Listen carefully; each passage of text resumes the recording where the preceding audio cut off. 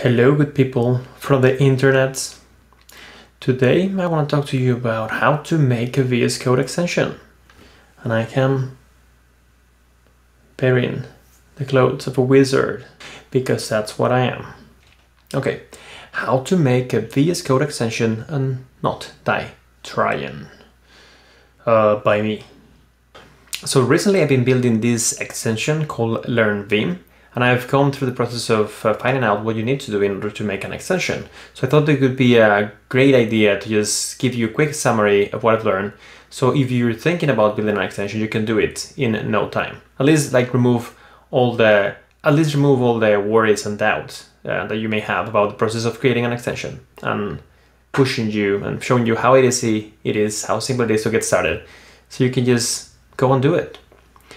So um, this is what you will learn in this mini talk or lightning talk. How to get started, the anatomy of an extension, how to publish your extension, and uh, the VS Code Marketplace. I'm gonna show you a little bit behind the scenes of how the VS Code Marketplace looks like. So how to get started. The best way to get started building your first extension for VS Code is to go to the documentation. There's this get started guide and uh, here it is your first extension. That's is broken down in like three different topics. Uh, your first extension, uh, the extension, uh, the anatomy of an extension, and wrapping up. It's a super simple way to get started. But let me show you uh, how the process looks like in uh, live. The first thing that you need to do is to get installed uh, use npm uh, to install those two packages, Yo and generator code. If you're not aware about Yo, Yo is a tool that lets you uh, scaffold different types of apps. So you can uh, define your own template for a project. In this case, it would be a VS Code extension, and you can use Yo to generate uh, the skeleton of an extension for you. And this is what's going on here with this uh, VS Code extensions and this generator code that you see right here. So if we want to create our new extension, we can say yo code. And now you can see that we get sort of a wizard that is asking uh, different questions that we need to answer in order to create uh, the extension. Uh, there's like different options. So if you want to create a color theme, you could go and select these options. Language support, if you want to add something to a language, code snippets, key maps, and then you have like a couple of extensions that are like um, any type of extension for TypeScript and JavaScript. It's like the first one because I like TypeScript. We say my extension my awesome extension. Say enter uh, some cool exception uh, extension, and then we're going to initialize a Git repo. I want to use npm. This is going to scaffold that project for me. It's going to scaffold my extension. It's going to install all the dependencies uh, through npm, and now it's giving me uh, some uh, direction as to how to continue. Uh, and it says just go into the folder uh, the folder you have just created, open code. You can see that it opens, uh, I just opened code in that folder. There's an update, it should update soon. Uh, but what is interesting here, uh, the interesting part here is that now that we are in this extension that is open in VS Code, the first thing that we're going to do is we're just going to run it and see how it behaves. Uh, so we run it, the nice way to do it is to open uh, the command palette and say just uh, start debugging. Now it's going to open a new instance of VS Code, but it's going to be running our uh, extension. So now we can run it, and it's a very simple extension. You just add a single command. It's called, it's called hello world.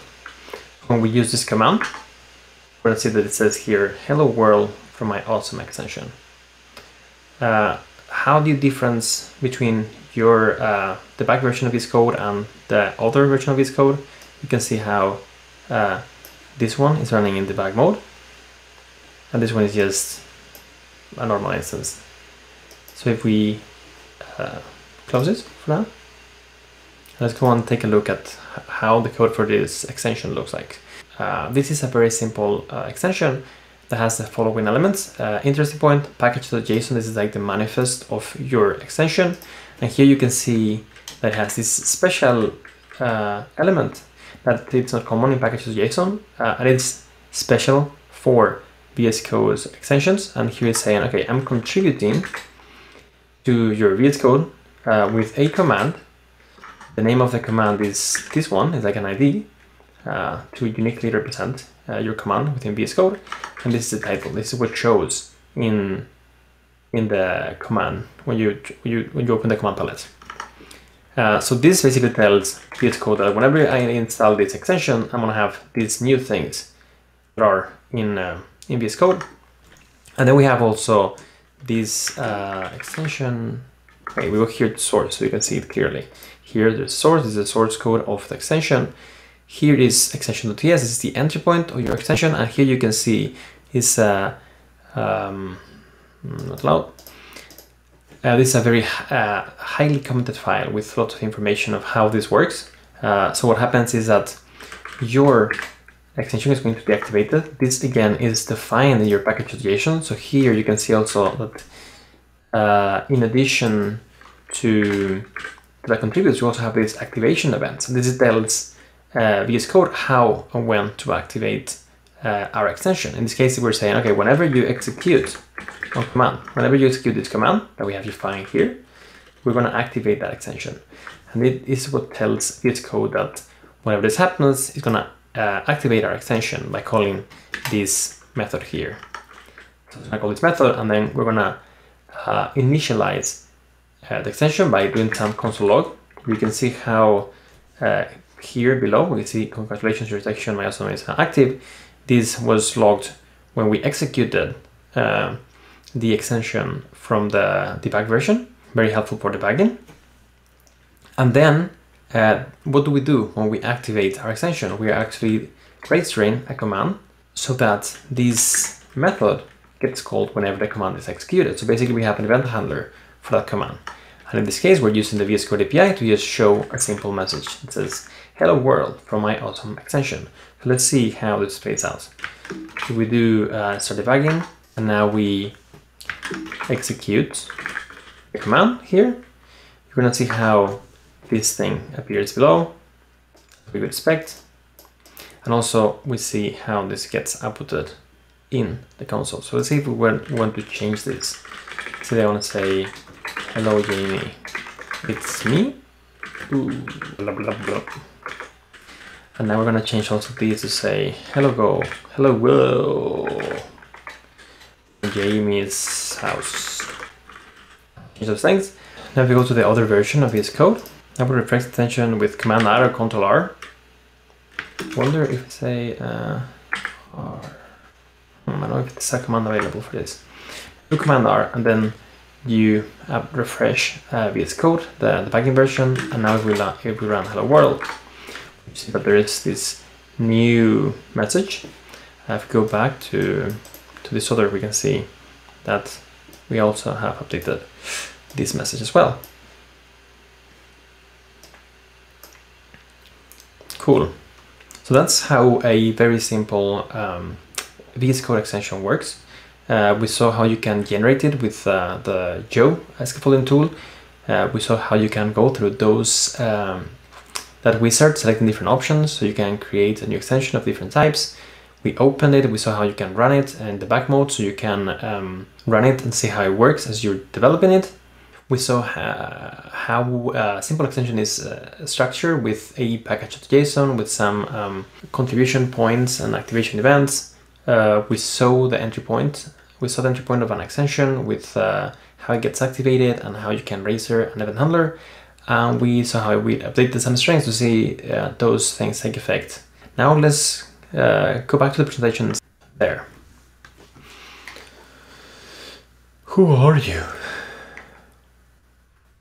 So now we will learn. Let's just, uh, let's uh, rewind and, and see if we can build a better mental model of how it is to develop an extension or the anatomy of an extension.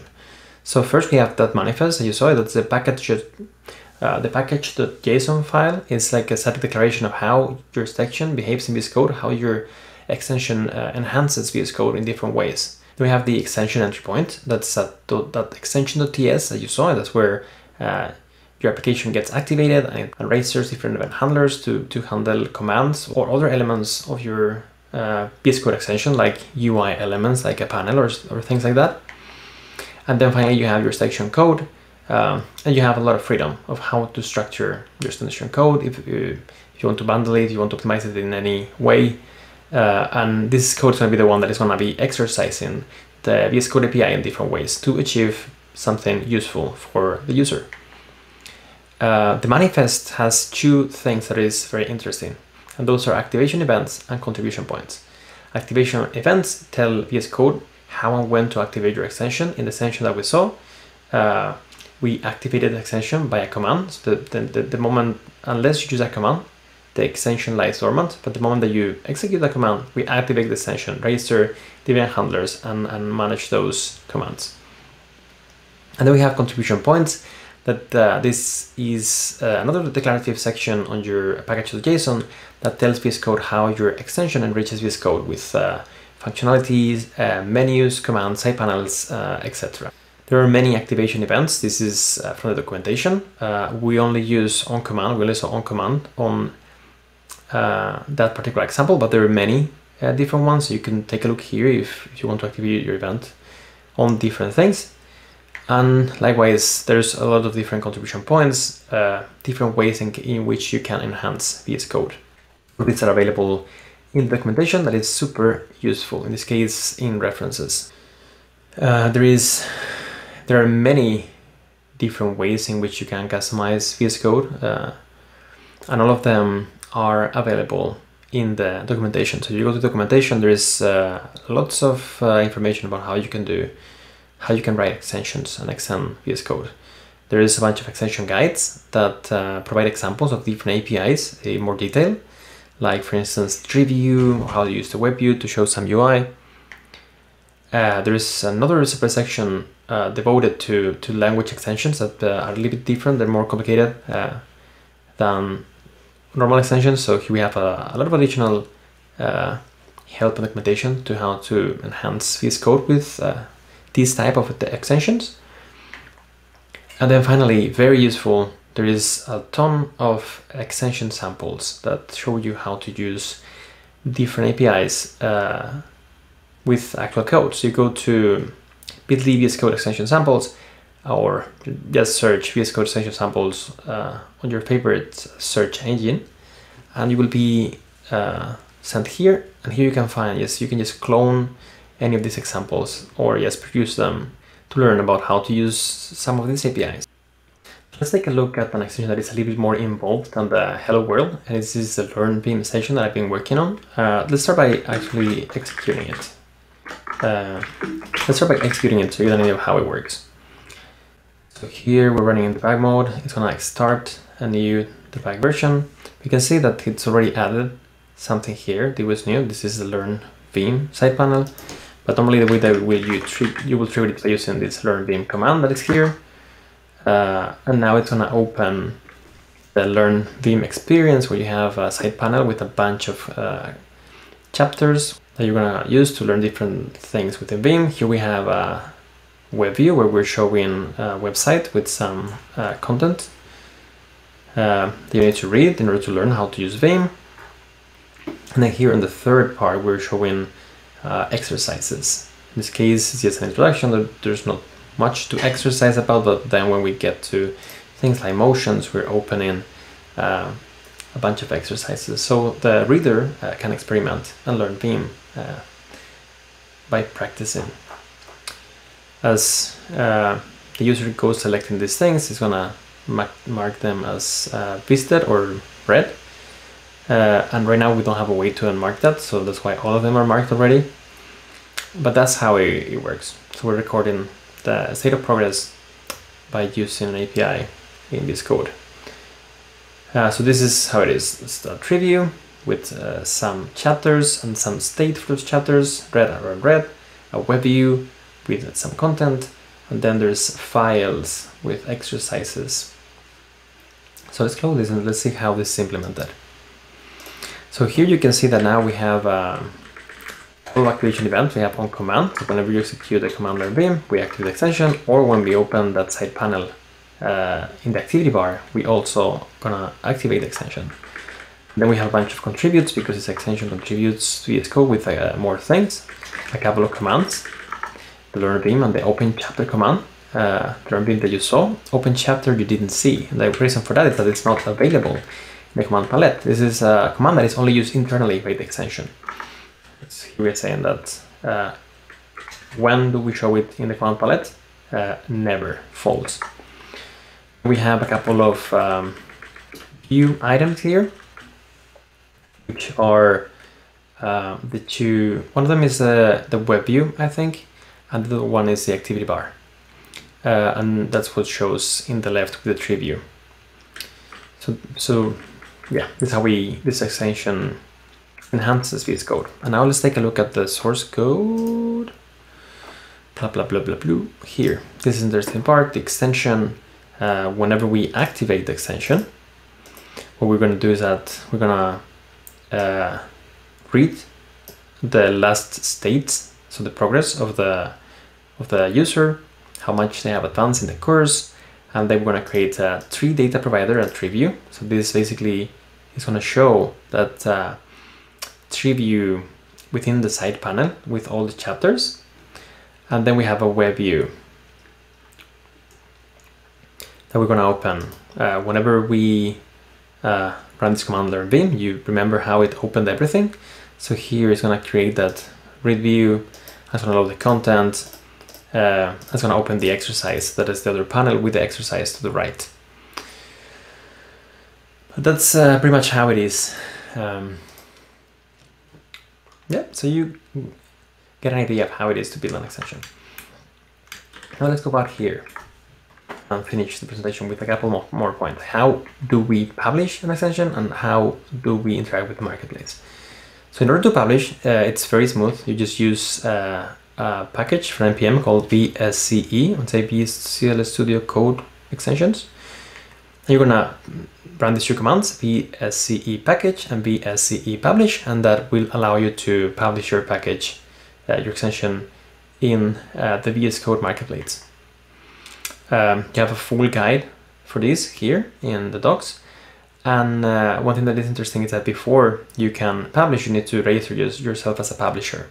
There's a couple of ways to do a couple of ways to do that. You can find that information in the this guide. You can also use the VSC com, um, command to, to also register as a publisher.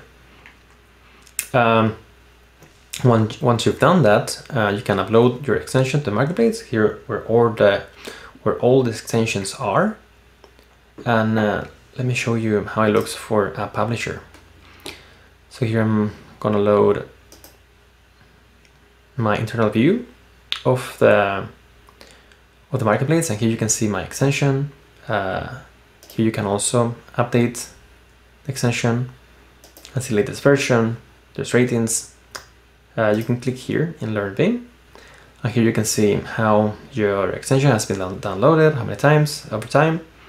You can look at ratings and review and you can answer uh, as well. You can edit, or you can say, yeah, you can answer. I have already answered this one, so I guess I, I can't do it uh, anymore. And then here, if there's questions or answers from your users, you can also find them here. And that's it. Mm, the moment that you upload your extension to Marketplace, it appears there. So we have Learn Vim, and there it is. Awesome. And now we're done. Hope you've learned uh, a lot. Uh, if you have any doubts about writing an extension, I hope that they have been dispelled and now you're ready to go. You need to you only need to install uh, Yo on the code generator and you're ready to get started. Um, so the world is your oyster. Go make some extensions. Goodbye.